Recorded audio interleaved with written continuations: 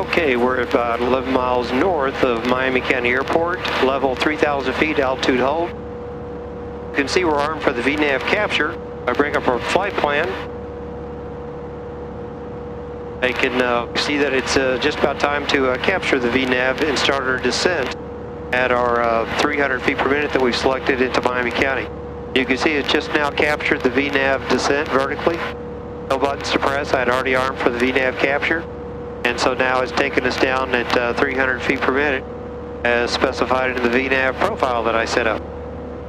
In fact, if I push the flight plan button over to the VNAV side, you'll see where our profile is 300 feet per minute, hitting us to an altitude of 800 feet above the airport, uh, three nautical miles before the airport. The reason I selected 800 actually is, is a couple hundred feet below the 1,000 foot pattern altitude, because I actually wanted to uh, capture the pattern altitude instead of the VNAV altitude. And I've already entered my pattern altitude of 1,800 feet in here, which it'll capture.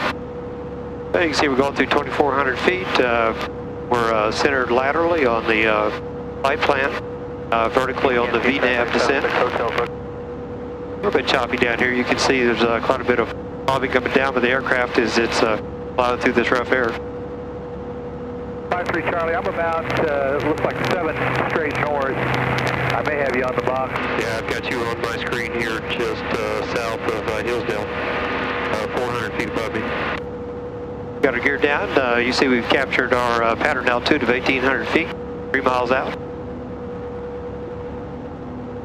Go ahead and put a runway heading in here and uh, we'll be able to use our heading mode to turn our uh, downwind. Okay, push the heading button and uh, turn the downwind for runway 3. And we'll disconnect the autopilot at this point.